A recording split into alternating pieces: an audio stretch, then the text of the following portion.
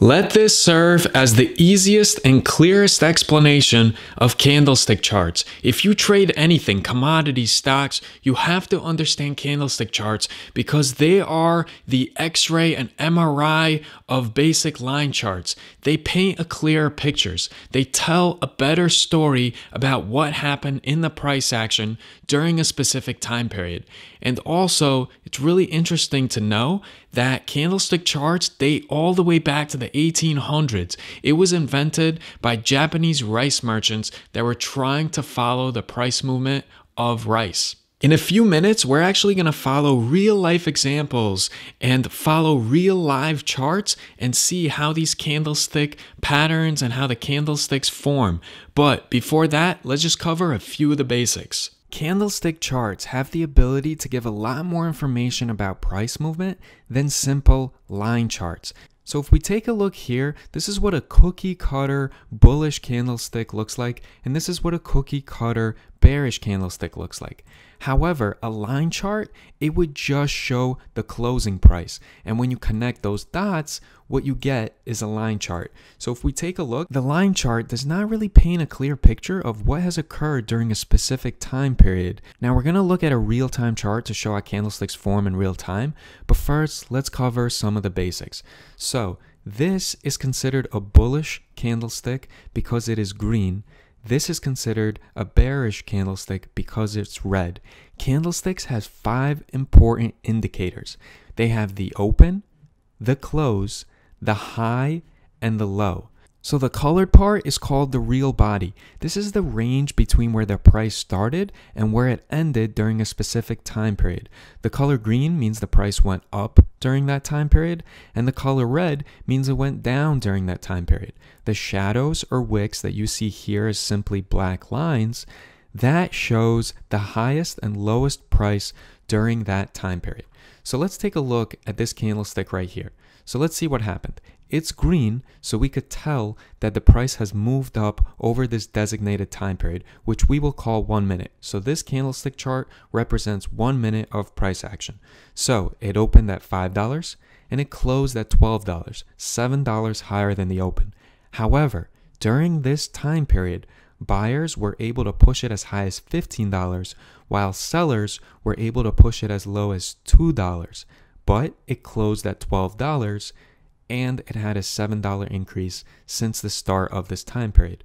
Conversely, a bearish candlestick that we see on the right here, it opened at $12 and before closing at $5, $7 lower than its open, it got pushed as high up as $15 by the bulls and it dropped because the seller sold it as low as $2. Now, not all candlesticks are going to look like this. Let's say there's candlesticks that don't have a top or a bottom wick or shadow. What does that mean? Well, let's diagnose it. For this bullish candle here, it means that it opened at $5 and ran up to $12. However, during this time period, bears were actually able to sell it as low as $2 before it ran up all the way to $12. So you can say that bears or sellers gave it a really good shot at pushing the price down, but the buyers won out and it closed $7 above the open. Conversely, over here on the bearish candlestick, we could see that it opened at $12 and it closed $7 below its open. However, the bulls were able to raise it all the way up to $15 before it closed at a loss of $5. So, from the open to the close, it lost $7, and from its high to the close, it actually lost $10. And then finally, I want to show that the real body can really differ a lot. And sometimes you won't even have a real body, and that's something called a doji candle, which we'll cover in a few moments. But let's see and diagnose what happened here if you look on the left hand side of the screen. So the price opened at $5. We know it ran up because it's green, which means it's a bullish candle, and it closed at $7. $2 run up. However, during that time period, the sellers were able to drop the price as low as $2, and the bulls were able to raise the price as high as $12. But in this candlestick and this candlestick alone, it's showing that there was uncertainty. It ran up really high, and it ran down really low. However, it closed relatively close to its opening. So the opening was $5 and the close was $7. So even though the Bulls won, they didn't win by a lot here. And if we go to this real chart here, we can see that these are bearish candles. They have these shadows or wicks that designate the high and the low. And you could see that the bearish trend continued and then the bears pushed it all the way down to about 59.58, but they were unsuccessful and over here we have a green bullish candlestick which ran all the way up and it actually doesn't even have any wicks or shadows. What does that mean on this candlestick? It means that the bulls were totally in control. It opened at 59.95 and it closed at 60.62 and at no point did it go below its open and all that bulls did was ran it all the way up and it closed at its peak. So this tends to be a very bullish momentum candlestick and as you can see the price did eventually keep going up before it reversed to the downside.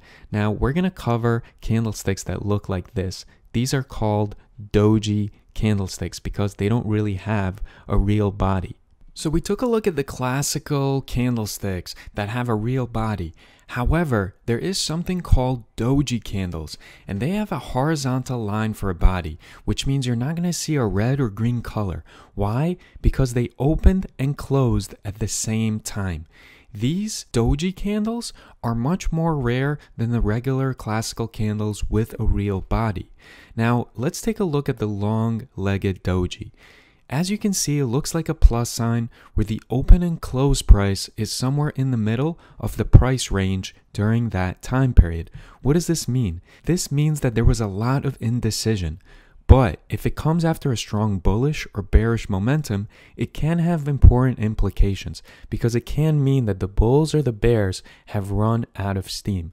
So just looking at the long-legged doji without any context, you could see that the price ran up really high, then the price ran up really low, but it closed where it opened because there was indecision. Now the gravestone doji, it also opens and closes at the same price. That's why it's a horizontal line through the price versus a green or red real body. The distinction though of a gravestone doji is that this line, price line, occurs closer to the lowest price during that price range and it looks and resembles a gravestone. Now, when spotted at the resistance line, this can mean that an uptrend will be reversed to the downside. Now we're going to take a look at what it looks like on a real chart and how it can signify it. But as you can see here, if it opened and it ran all the way up during this time period, but then the bears won out by pushing it all the way down and closing at the open. So you can see it tried to go real high, but it completely failed and sank back down. And if it was an, on an uptrend and there was a lot of greenish bullish momentum, and then you see a gravestone doji, typically you would wait to see confirmation with some red candlesticks, but this is an indicator that potentially there's going to be a reversal. Conversely, the dragonfly doji is a bullish reversal signal that the downtrend will reverse to the upside, and it's especially significant if spotted near the support line. And so the basic way to remember dojis is that the open and the close is virtually identical. In a long legged, it happens towards the middle of the range of that specific time period. In a gravestone doji, it occurs near or at the lowest price of that time period. And in a dragonfly doji, it occurs near or at the highest price of that specific time period. So if we take a look at an actual price chart, and this was AMC the day of me recording this, it's actually interesting to see that we could see a couple examples of this. So we see here that there is a dragonfly doji, and it's occurring somewhere at the support level, so that you see that there's a reversal. Everything was going red, then we saw a Dragonfly Doji, it was confirmed by green candles, and the price rose up. And the same thing can be seen here. This can also be considered a Dragonfly Doji. Now over here, we could see a Gravestone Doji, and it occurs around the resistance line, which we can draw through $62 and around 30 cents. And this Gravestone Doji comes close to the resistance line, and there was a complete reversal. And you see a lot of bearish momentum following the gravestone doji. And then if we look over here, we can actually spot another instance of doji candles being helpful in signifying a reversal.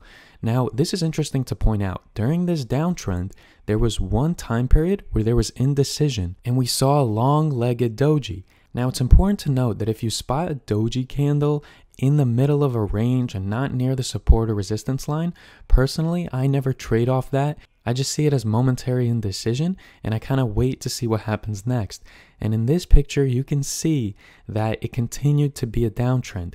However, when this dragonfly doji occurred, and if we zoom out, we can actually see that it is kind of a past support line that it's following, there was a reversal and things stopped moving to the downside and reversed to the upside.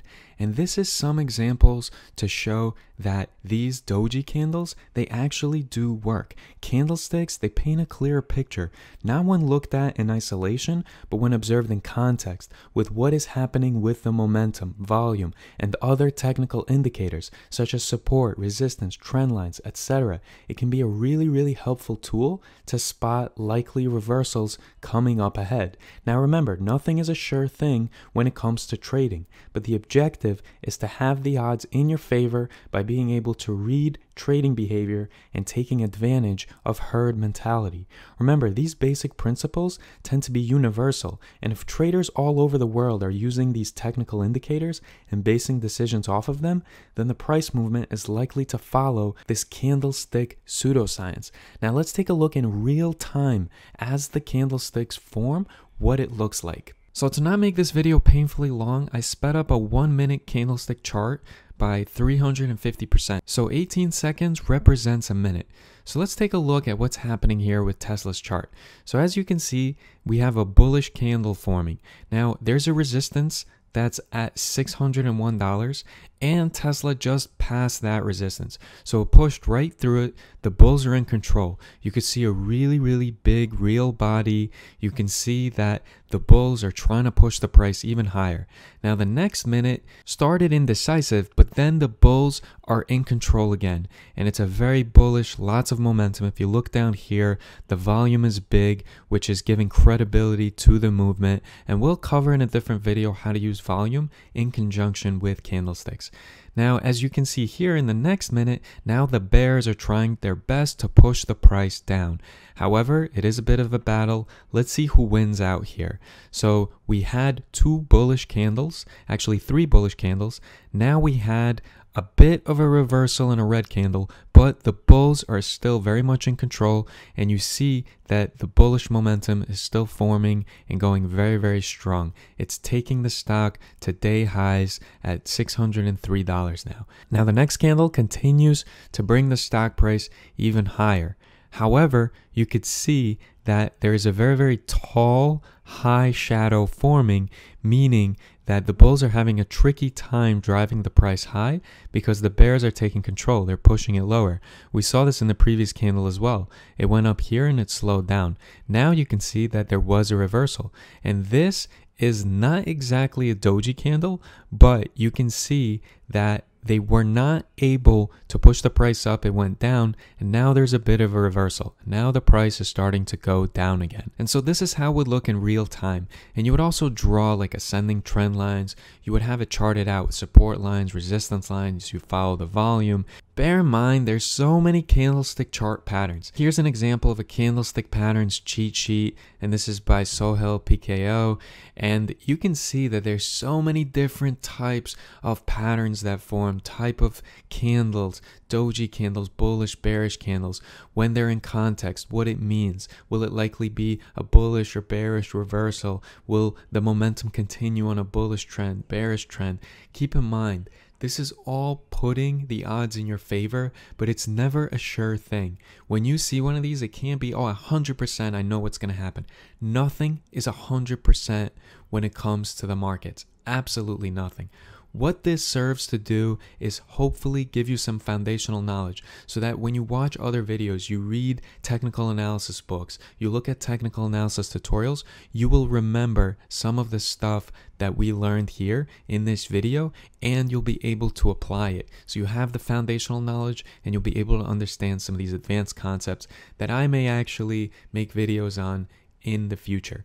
Now, the next time that it's somebody's birthday or it's your birthday and you're blowing out candles, please make a wish for a lot of bullish, high momentum candles in your investments and in your life. I appreciate you guys watching this. Please stay tuned for future tutorials and for my own personal investment journey. I'll be giving a lot of updates. I appreciate you guys for watching. Please comment, subscribe, like the channel. Let me know what you think. I'll see you guys in the next video.